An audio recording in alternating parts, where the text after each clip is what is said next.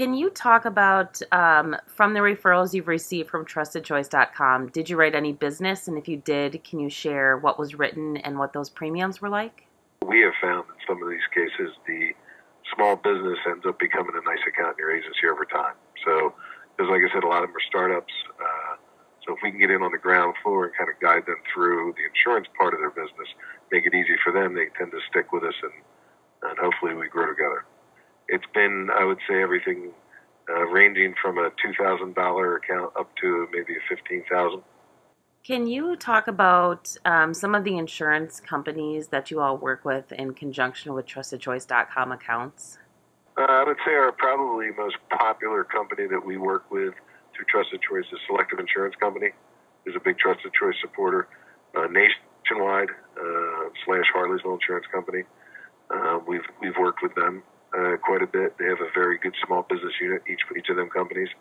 Um, the Hartford uh, has been uh, right there uh, as a big supporter for the small business as well. Can you talk a little bit about the return on investment with your TrustedChoice.com subscription? How has that investment benefited your agency?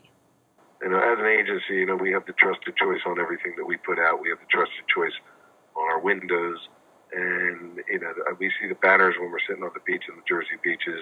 You see the banners being flown overhead, and people say, "What is a trusted choice?" So it gets people talking, um, and then then I think it helps when you have your major carriers that are partners with Trusted Choice advertising it.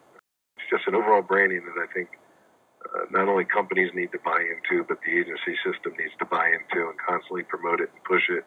Um, and that's the only way you're going to compete with the other big carriers out there that are you know, just marketing, putting tons of marketing dollars out on the street.